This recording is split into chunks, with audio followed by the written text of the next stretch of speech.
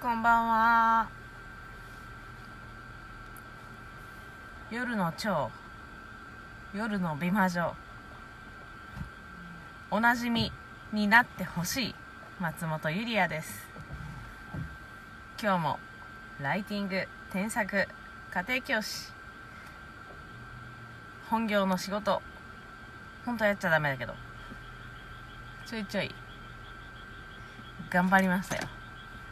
そして今日は土曜日なんで会社は休みです。けどえっとバイオリンのレッスンがあるからそれ行ってました。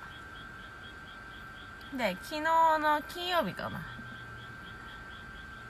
たまたまちょっと高速道路に乗る機会があって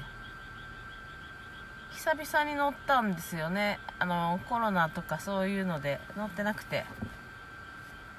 でふと思い出したんですけどずっと不思議だなって思ってたことがあって。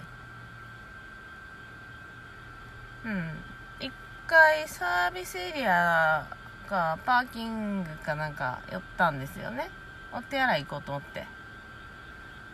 必ずあのトイレとかってあのお忘れ物ご注意とかって書いてますよね。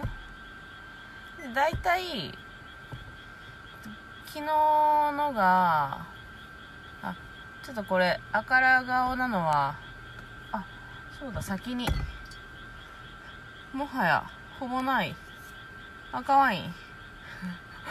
後ろをチラチラ振り返ってるのは旦那が視察に来ないか。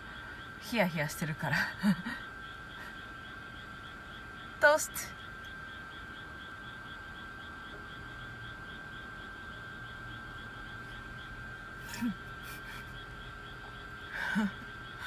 赤ちゃんか。ここぼれたわ。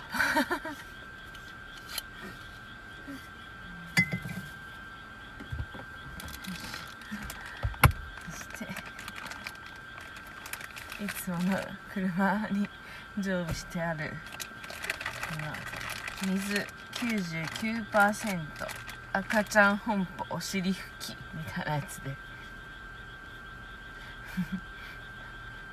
まあこれもはや赤ちゃん用ですけどね。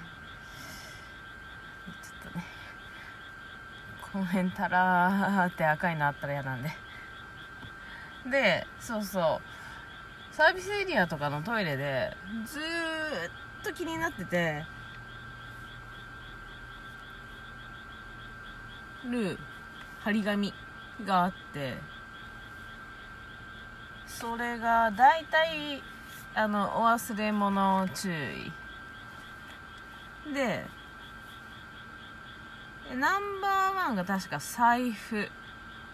まあまあこれは確かに財布だけ持って、まあ、トイレトイレだけ行こうかなって人とかは財布だけ持って車から出て財布をその個室とかに忘れちゃうってあるかなって気はする。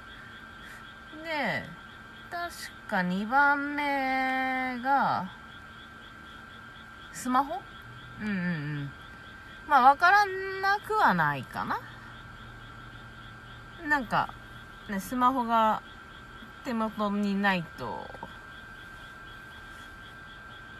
っていう人はきっとスマホを手洗いの個室の中まで持ってって